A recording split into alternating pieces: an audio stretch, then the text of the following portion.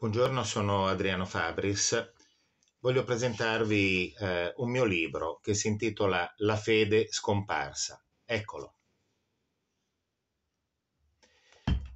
Come dice il titolo, è un libro che parla della fede. Certo, è un argomento oggi non molto diffuso, da qui appunto il titolo del libro nel senso che eh, interessa eh, le persone eh, che hanno una disposizione religiosa, che credono, soprattutto i credenti in ambito cattolico, i credenti eh, che si riconoscono all'interno della tradizione ebraico-cristiana. Ebbene, però vediamo che le chiese sono vuote, vediamo che la trasmissione della fede di generazione in generazione eh, diventa sempre più problematica, più difficile. Eh, proprio per questo eh, in eh, questo periodo si sta svolgendo in Italia in Europa e nel mondo eh, un sinodo, una riflessione collegiale delle chiese cattoliche ehm, proprio per recuperare eh, quella che è una identità, una consapevolezza, una motivazione religiosa. Ecco, eh, il libro vuole, tra le altre cose, anche essere un contributo eh, in questa direzione. Qual è la sua tesi? Si parte appunto dal dato di fatto che è certificato da tutta una serie di analisi, di indagini anche di carattere sociologico. Eh, la dimensione religiosa, la espressione della propria fede, il raggiungimento stesso di una dimensione credente oggi è chiaramente in crisi. Ma eh, appunto a differenza eh, di altri tentativi eh, di ehm, recuperare, di affrontare questo fenomeno, eh, il libro vuole andare subito a mh, interrogarsi, a cercare di precisare, di avere una risposta su che cosa è la fede. Cerca di dare un identikit della fede. La tesi è che se oggi le chiese sono vuote, se oggi ehm, eh, c'è una perdita appunto di questa sensibilità religiosa, è perché non sappiamo più che cosa vuol dire fede. La scambiamo con eh, altre cose. Eh, non sappiamo più precisamente che cosa vuol dire la fede cristiana. La scambiamo con altri tipi di credenza.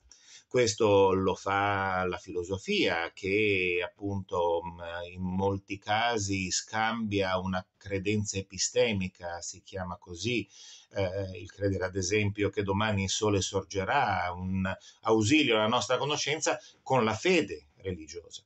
Questo fanno anche tante tendenze presenti pur nella nostra Chiesa che ehm, eh, sono volte ad agire operativamente in maniera adeguata. Eh, basta muoversi eh, in maniera caritatevole e si è buoni cristiani. No, non basta, perché eh, è necessaria una motivazione, la fede dà questa motivazione. Allora, la parte consistente del libro è quella davvero che vuole ehm, eh, offrire un della fede. Eh, vuole cercare di farci capire in che cosa la fede consiste, qual è eh, propriamente l'impegno eh, del credente. Ehm, leggete il libro, leggete i capitoli in cui si parla della logica della fede, in cui si parla della fede come eh, relazione eh, in cui si parla anche di come eh, è possibile, ehm, a partire da eh, questa concezione comune del credere, del credere religioso, anche instaurare effettivamente un dialogo eh, fra le diverse religioni e le diverse confessioni. In sintesi però eh, la mia tesi è questa, eh, la fede è qualcosa di difficile, di impossibile, è l'assunzione di una uh, prospettiva che ci permette di vedere le cose in tutt'altro modo, una prospettiva che ci offre senso e questo eh, anche contro quella che è la nostra normale abitudine, quella che è l'apparenza, quello che è il modello di spiegazione efficiente che ci viene offerto dal, dalle varie scienze, che eh, viene realizzato dalle tecniche e dalle tecnologie. E adesso possiamo spiegare quasi tutto e credere di controllare quasi tutto, ecco perché non c'è più spazio per la fede. Invece no, la fede è um, l'assunzione, un salto di un orizzonte, di una dimensione che è realmente eh, controfattuale.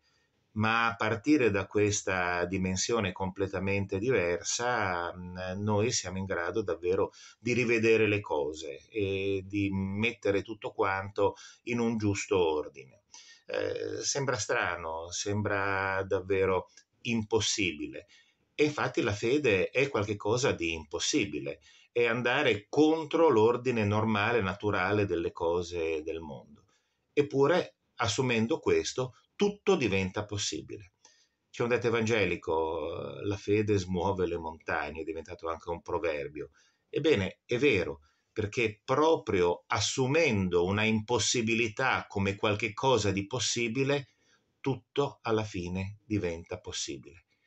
Assumendo questa impossibilità, eh, quello che ci capita, i dolori, le difficoltà, i problemi che dobbiamo costantemente affrontare come qualcosa di risolvibile in un'altra prospettiva, allora davvero tutto si scioglie, non è più eh, qualche cosa contro il quale noi cozziamo, come contro le montagne. No, anche le montagne si muovono. La fede rende possibile questo. Grazie.